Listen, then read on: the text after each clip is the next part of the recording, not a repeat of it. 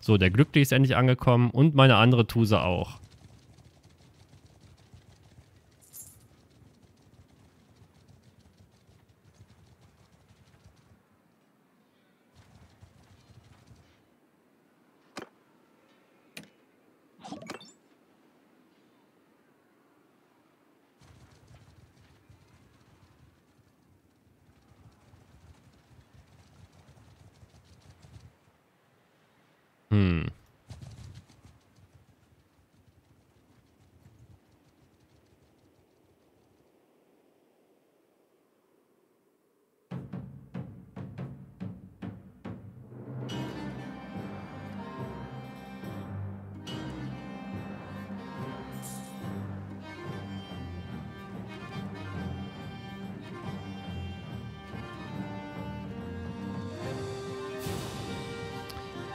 Dich, Kackarmee.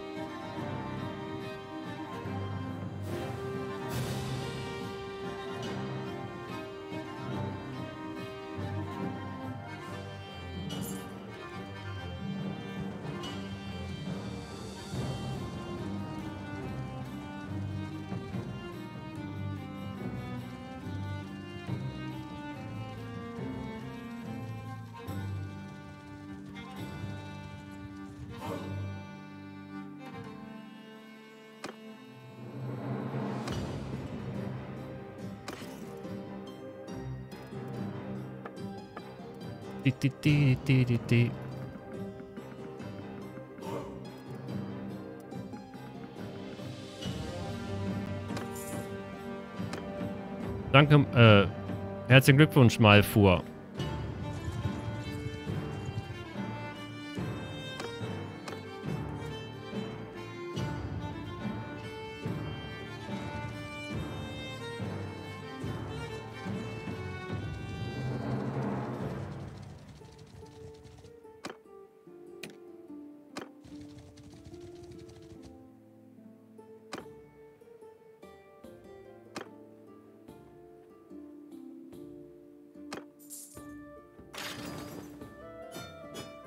Und meine Frau ist schwanger. Was? Ich habe das Dorf gerettet?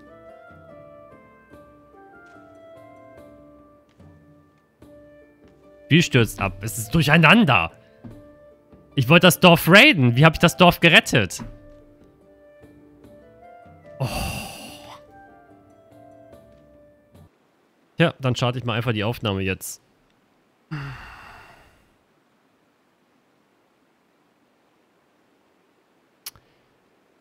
Äh, ich hoffe, ich habe das VOD vorgelegt vor dieser Folge und vergesst das nicht. Ansonsten, ja, ich habe meine Siedlung durch einen wundervollen Schachzug, ohne dass ich jetzt irgendwem an... Also, ohne dass ich jetzt zu irgendwem gehöre. Ist einfach alles ein Traum.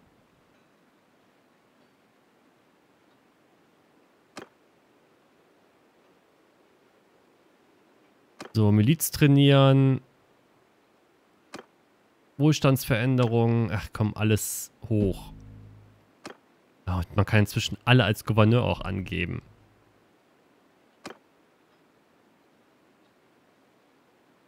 Wie kann man denn bloß vergessen, die Aufnahme zu starten? Man kann das vergessen,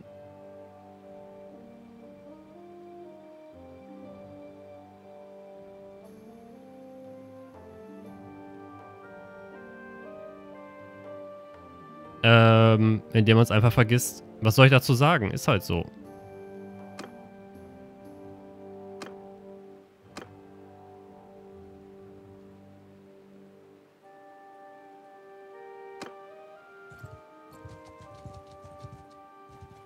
So, die Siedlung brennt.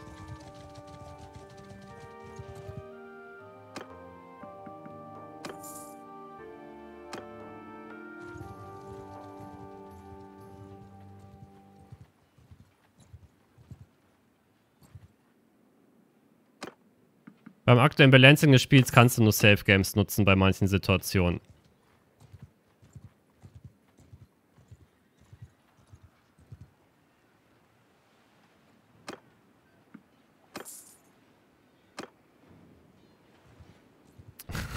Nein, ich habe nicht die Aufnahme wegen Alzheimer vergessen, sondern weil das Spiel abgestürzt ist, ich die Aufnahme kurz gestoppt habe und als ich weitergemacht habe, habe ich die Aufnahme nicht wieder gestartet. Das kann halt passieren.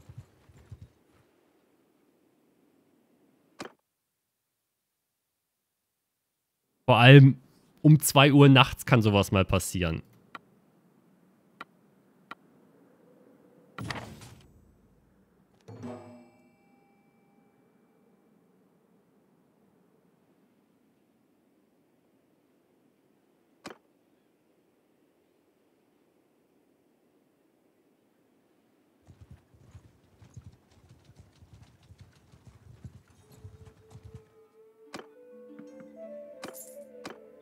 Ich denke mal, so wie ich es jetzt gemacht habe, habe ich nicht zu viele verärgert.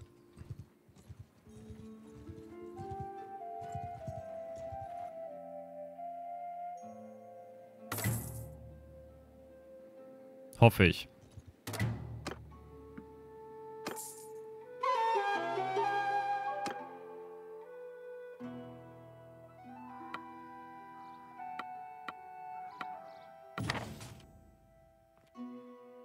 Beim letzten Mal habe ich zu viele verärgert beim Gründen. Ach, keine Ahnung. Letztes Mal war wirklich heftig.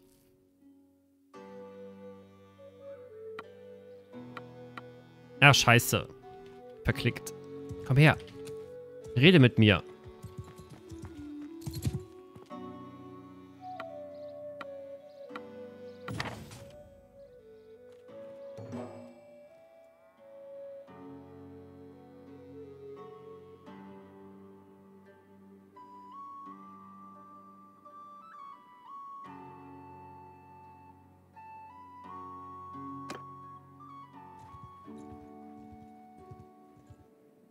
Gut, das Versteck scheint nicht groß zu sein.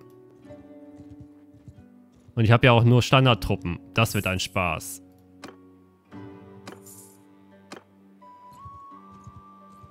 Buh, 2000.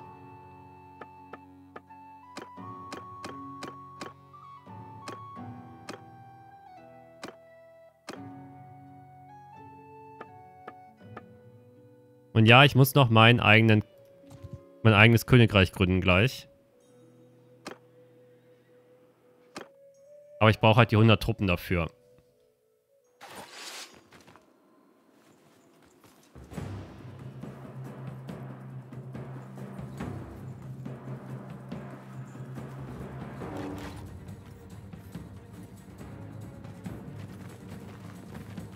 Toll, ein Gebirgsjäger hängt hier irgendwo rum. Sehr schön, Altron. Du hast zwölf Stunden heute gespielt. Das schaffe ich nicht. Ich habe vielleicht acht, wenn ich nachher aufhöre. Ach, wir haben schon wieder fast drei Uhr. Die Krone ist natürlich nicht von Burger King, weil die Burger King Kronen halt voll scheiße sind. Jedenfalls die, die ich kenne. Eines Tages hole ich mir eine richtig ordentliche Krone.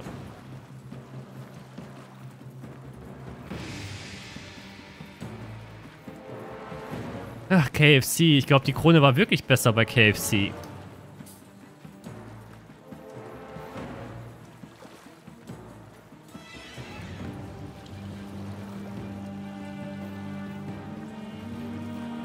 Kennt jemand ein gutes, günstiges Spülmittel?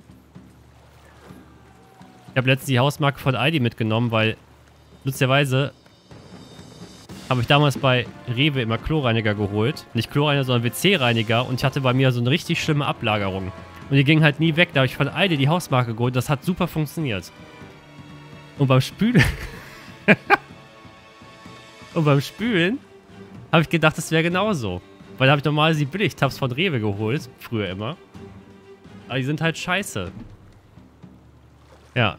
Jetzt habe ich das Pulver Hausmarke von Aldi geholt, aber ist auch scheiße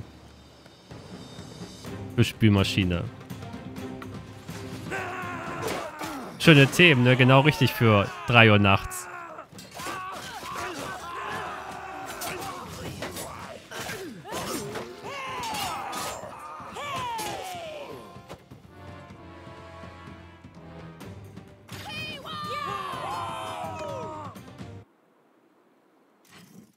Meine Frau hat ein Level abbekommen.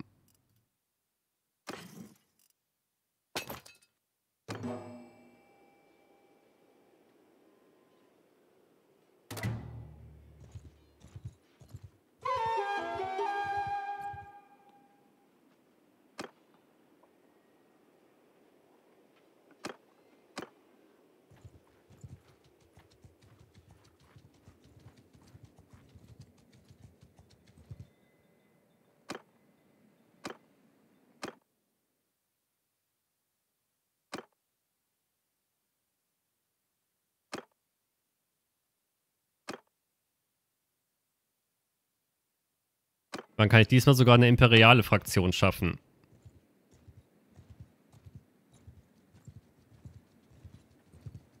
Themen, die die Welt braucht. Ja, ohne Kack. Auch wenn natürlich auf, dem, auf der ID-Hausmarke vom WC-Reiniger 8000 Warnsymbole drauf sind, hat er alles aus meinem Klo weggesetzt.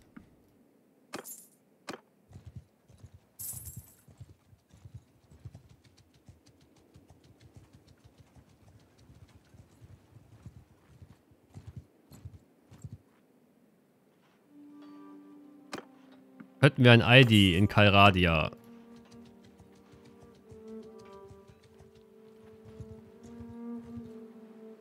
Alles ist giftig. Ist ja nicht so, dass ich den Hund aus dem Klo trinken lasse.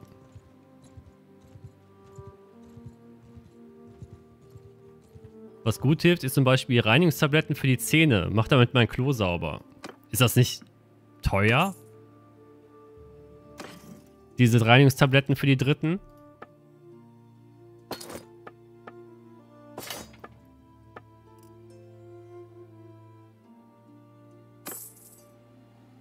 Okay, gibt auch billige.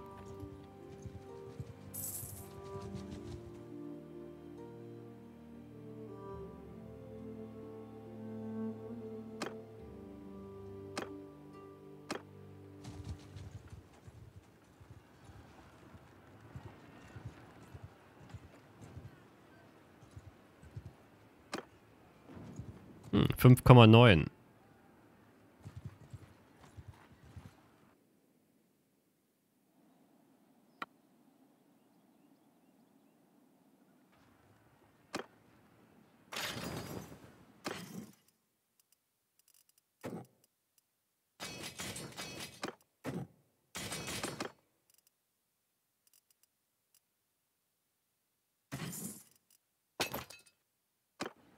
Weil er denkt, ich würde eine Herde transportieren.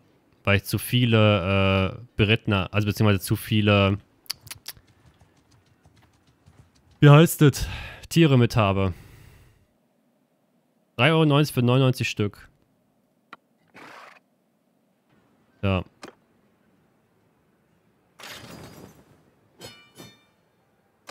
Ich bin gerade zu schwach zu schreiben, warum man das Spiel gerade auf Deutsch spielen kann. Beziehungsweise warum ich das auf Deutsch habe.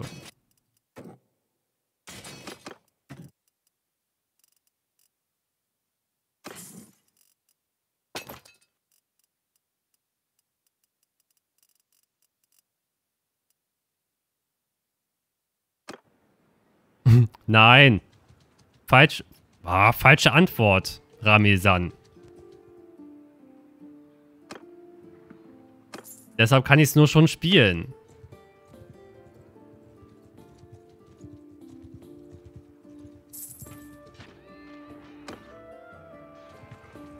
Alinet ist wieder schwanger. Moment.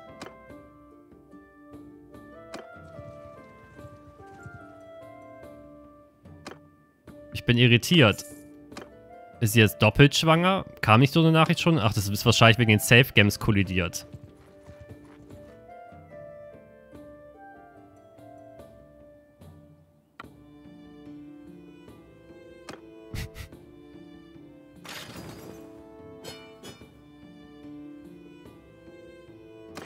Kannst diese Antwort geben, wenn ich wieder gefragt werde, warum ich irgendwas vorm Release spielen kann.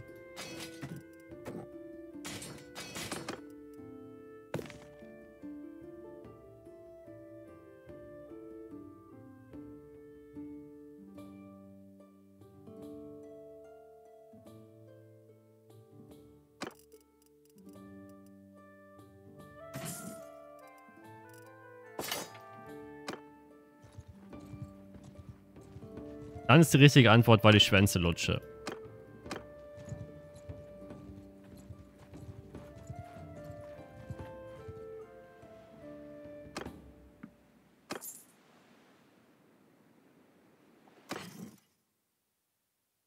habe ich mir in meinem Buch geschrieben, dich dann an deinen Alzheimer zu erinnern. Man macht keine Witze über Alzheimer.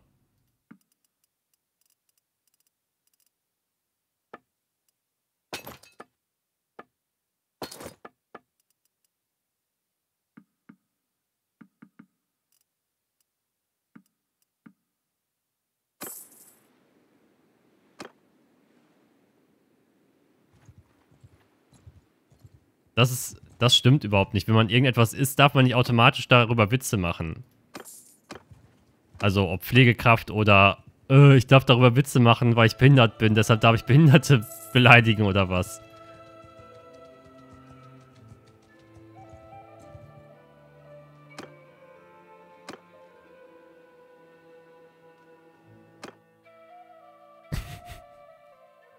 Wenn ich fett bin, darf ich fetten Witze machen. Wenn ich nur ein Auge habe. Ne, wenn ich blind, wenn ich blind bin, darf ich Witze über Blinde machen.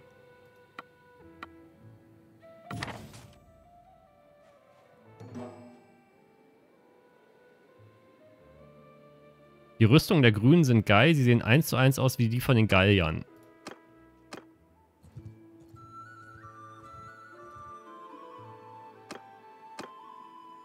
Ich weiß es nicht.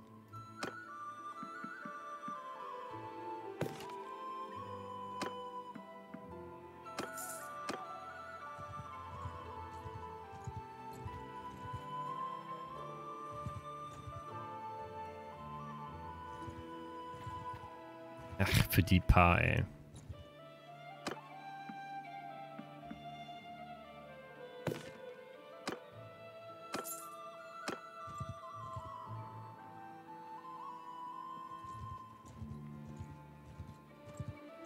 Da ist eine richtige Truppe.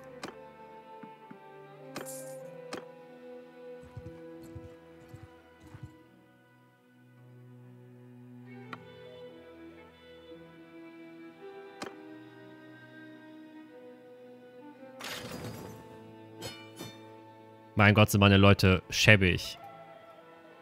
24 Verwundet, Verwundete, wenn ich gegen irgendwelche billigen Plünderer kämpfe.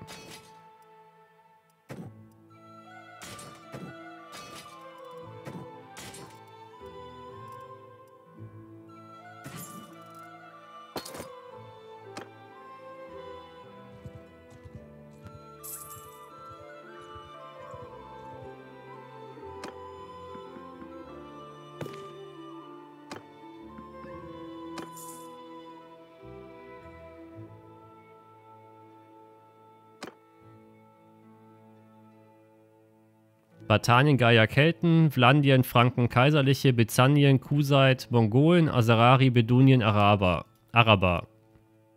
Ja, und das Imperium ist doch römisch angehaucht.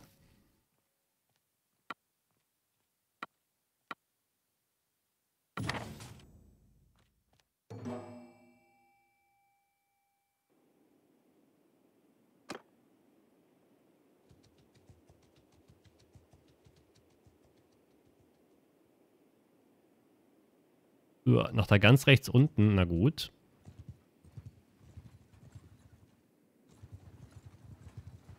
Mal ganz kurz das Versteck hier kaputt machen.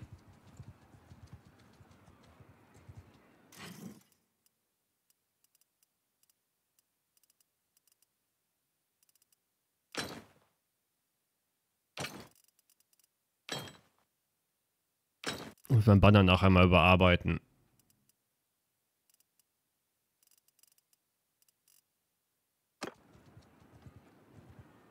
Wie finden Sie das Mikromanagement in M und B2? Achso, in Mount und Blight Banner Fall.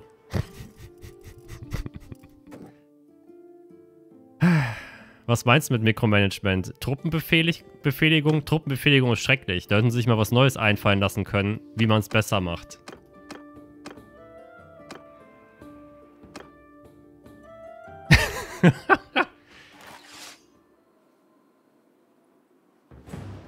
Aber das habe ich schon häufiger erwähnt. habe ich plötzlich... Ach so, boah, ich habe gerade so gedacht, ich muss langsam ins Bett. Ich habe mich gerade schon gefragt, warum sitze ich denn nicht auf dem Pferd?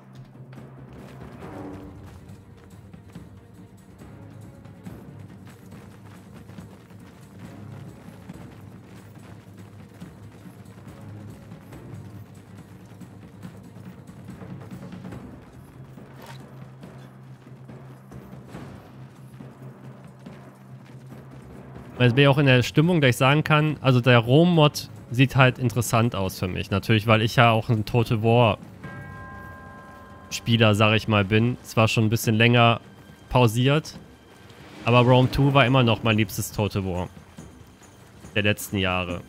Auch wenn natürlich folgende Total Wars viele schöne Neuigkeiten, also, Neuheit, also neue Sachen mit reingebracht haben, aber Rome 2 war halt schon mein Creme de la Creme Spiel.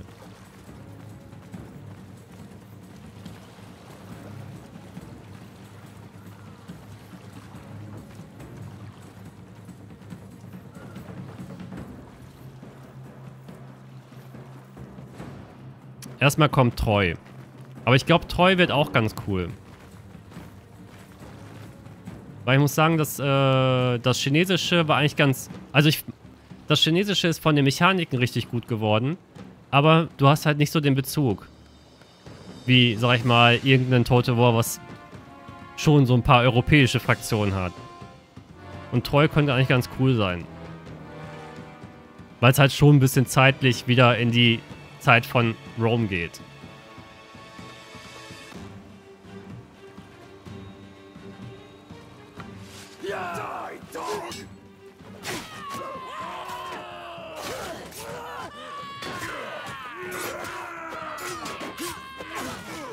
Ich denke, Warhammer 3 wird eine Sache fürs nächste Jahr.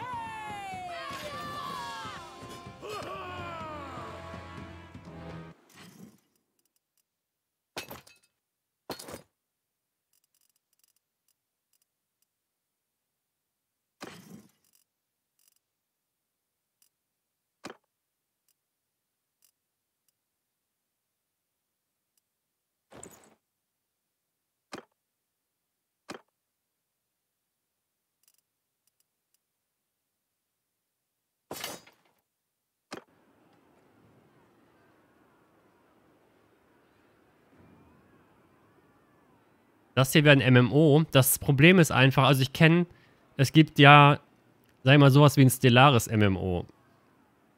Mir fällt gerade nicht ein der Name, aber ich habe es mal eine Zeit lang ein paar Tage getestet und dann musste halt immer alle paar Stunden reingehen, ein paar Befehle geben. Ist aber alles Echtzeit. Das Problem ist, selbst wenn du das hier als MMO machen würdest, wie balancierst du das? Das ist unglaublich schwierig, weil Zeitinvestition ja dich voranbringt massiv. Und das finde ich auch immer schwierig bei diesen ganzen Browser-Spielen. Ne? Wenn du die ganze Zeit davor bist und eine, zur richtigen Zeitpunkt die richtigen Befehle zu geben, hast du eigentlich später keine Chance mehr. Außer du gehörst irgendwie zur größten Gilde, in der dein Vater ist. Und der schützt dich dann.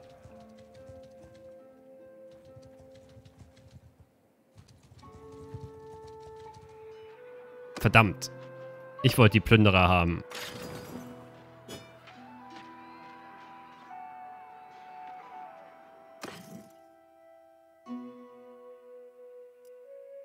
Bei Warhammer 3 wird erstmal Warhammer 3 kommen.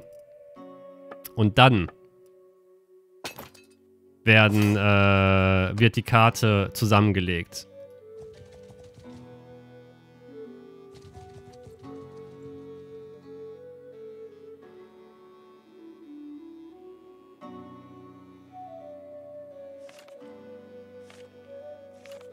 Ach so. Das seid ihr. Ihr habt auch... Die haben auch gegen Rot im Moment Krieg, anscheinend. Oder? Wer war da vorher? Ah, nee, das war, ah, das war Imperium. Jetzt wollen sie es mir extra schwer machen, das Imperium zu stürzen. Oder soll ich lieber mit dem anderen handeln?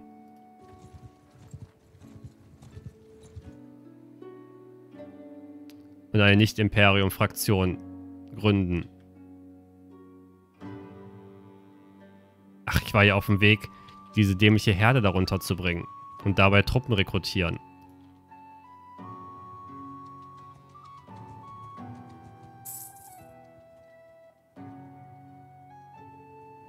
Ich glaube eh, dass es egal ist. Ob das das Imperium unterstützt oder nicht.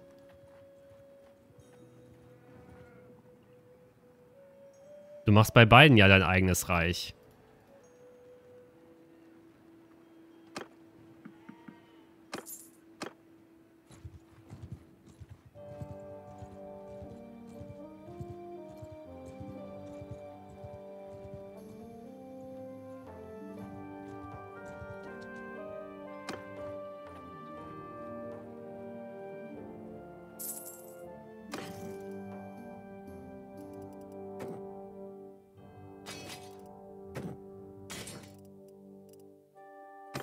Habe die Reichsbauern vorhin nur mitgenommen, weil die mir helfen werden, ähm, eine halbwegs vernünftige Kavallerie aufzubauen.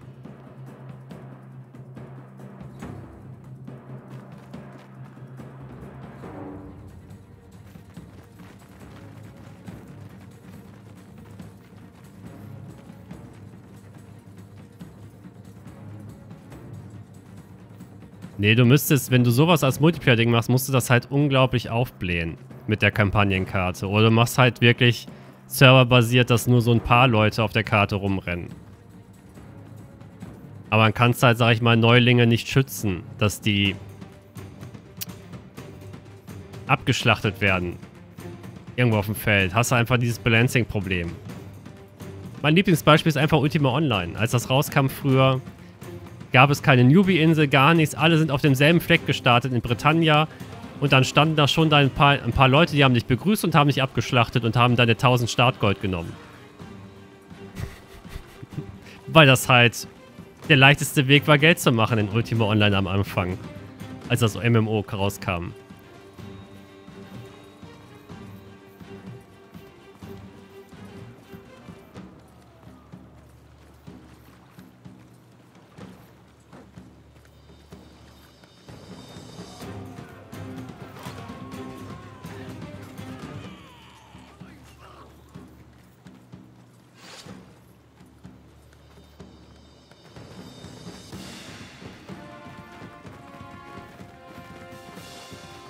Ich habe schon ein Spiel neu begonnen und ich mache schon einige Sachen anders. Zum Beispiel, dass ich wie Gott verantwortlich dafür bin, eine Balance zu halten.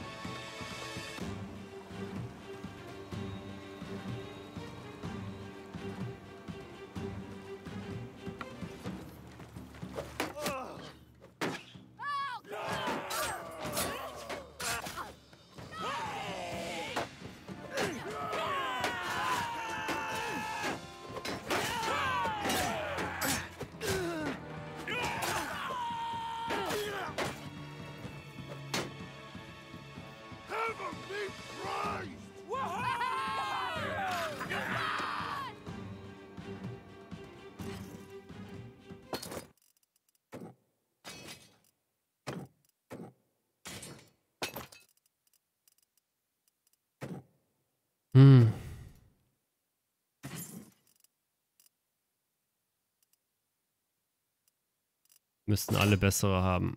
Also bessere Ausrüstung.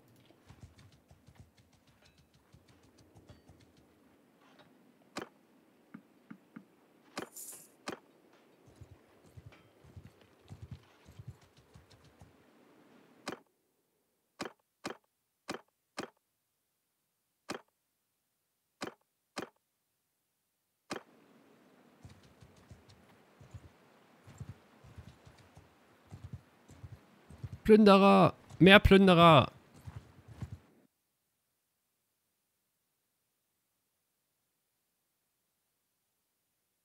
Ultima Online war schon eine coole Sache.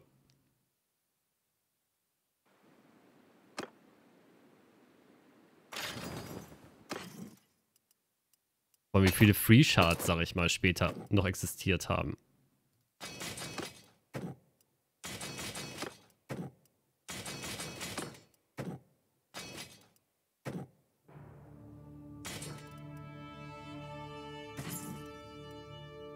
Ich habe auch jahrelang auf dem Free Shard gespielt später.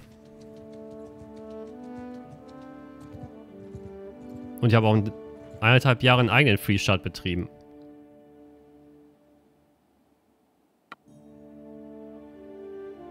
Sogar mit zu Peakzeiten 60 Spielern.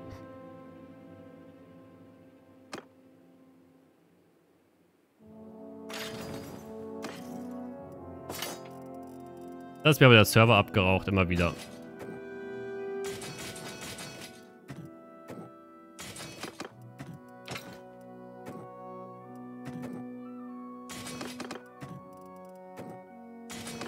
Weil die Skripte, die ich dafür geschrieben hatte, anscheinend ein bisschen zu komplex waren zwischendurch.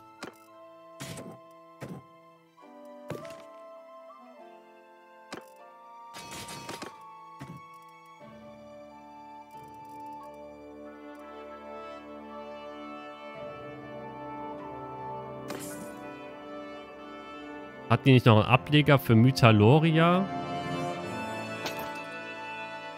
Reden wir über Ultima Online noch? Ich weiß.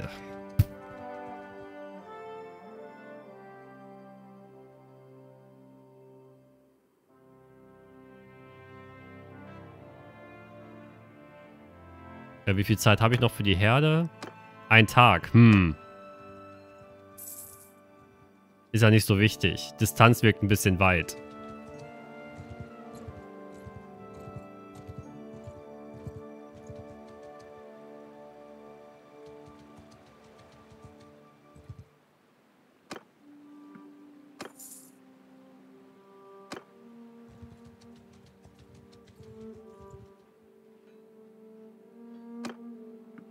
Habe mich auch ein bisschen ablenken lassen durch die Hideouts. Das wird es eher gewesen sein.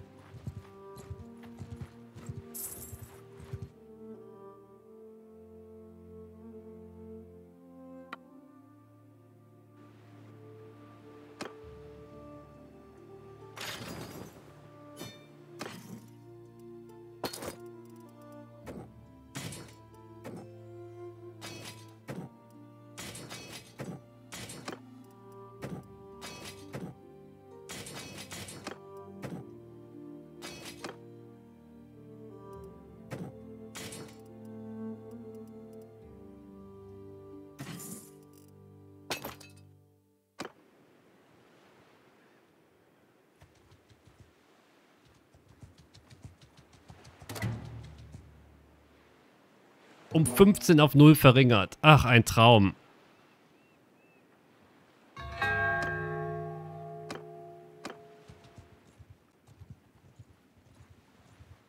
Warum auch nur kleine Str äh, Schritte machen?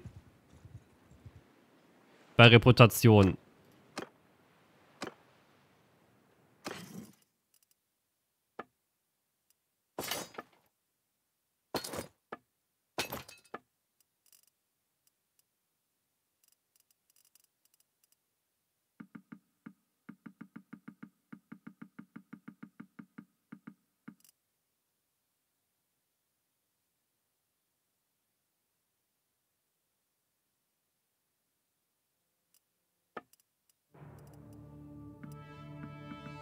Sagt nicht, der hat die Schweine als Herde festgestellt.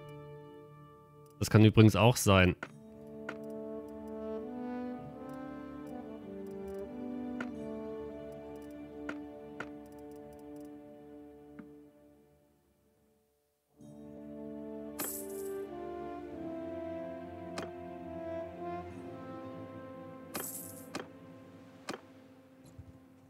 So, dann wollen wir mal unser Königreich gründen gehen.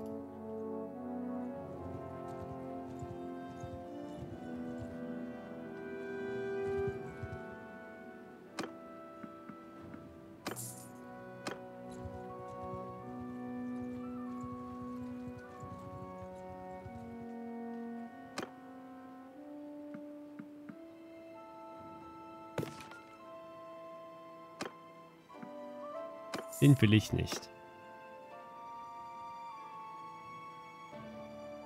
Das will ich auch nicht.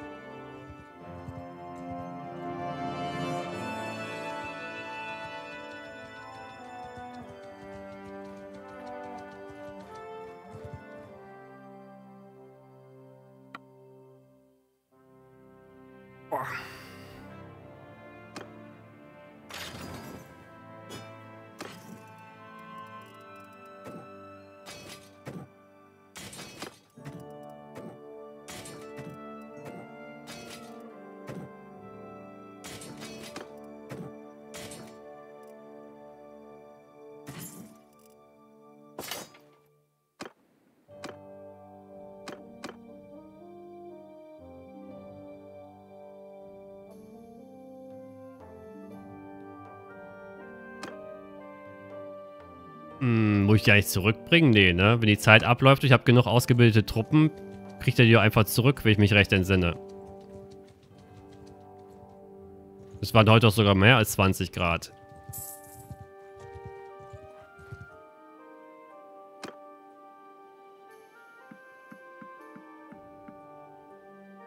Ein Witcher-Mod soll übrigens auch umgesetzt werden. Macht ja auch Sinn. Also du hast ja in, ähm, in Witcher ja auch Königreiche, die gegeneinander kämpfen.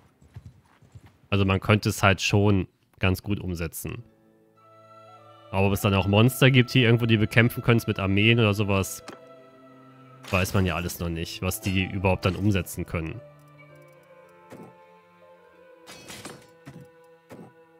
Die Ambitionen sind immer groß und dann muss man Abstriche machen plötzlich. Oder man entwickelt etwas acht Jahre und da muss ich mir heute keine Gedanken darüber machen.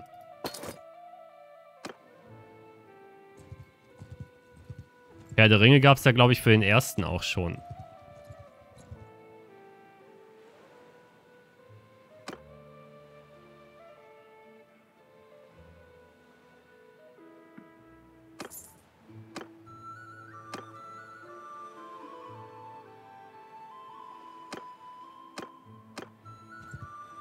Hab schon lange kein Turnier mehr mitgemacht.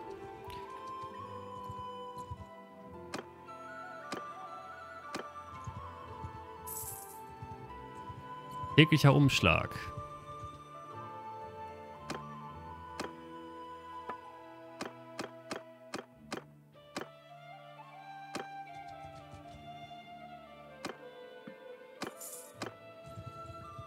So, Armee voll.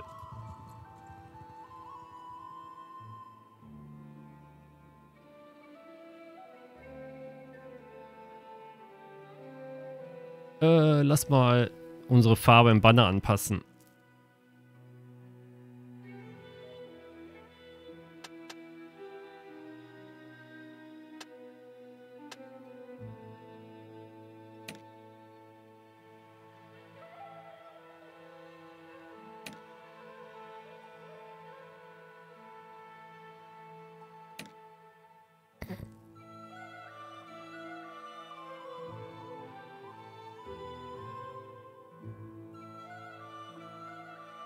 Ah, sehr gut.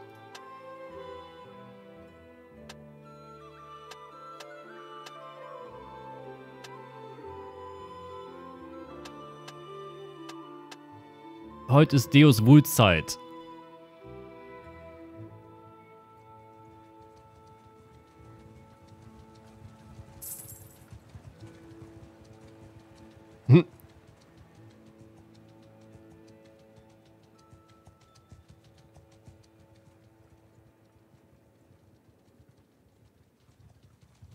Könnte auch ein Kamin sein.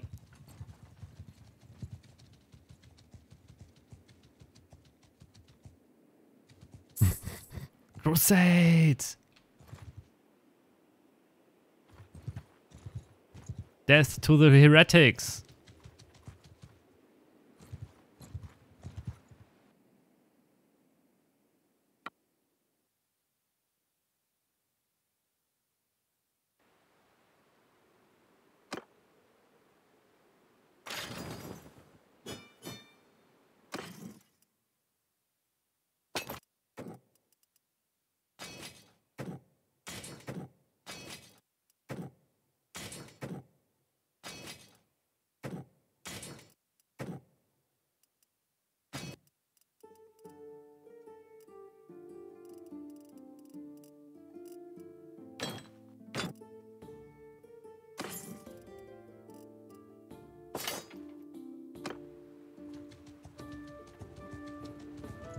So, wie läuft's hier? Was macht die Garnison?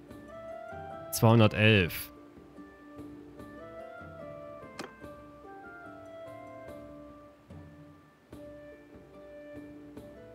Ich weiß, dass man bei Plünderern keine Truppen verliert. Die werden nur verwundet, weil die Waffen der Plünderer zu schwach sind, um die zu töten.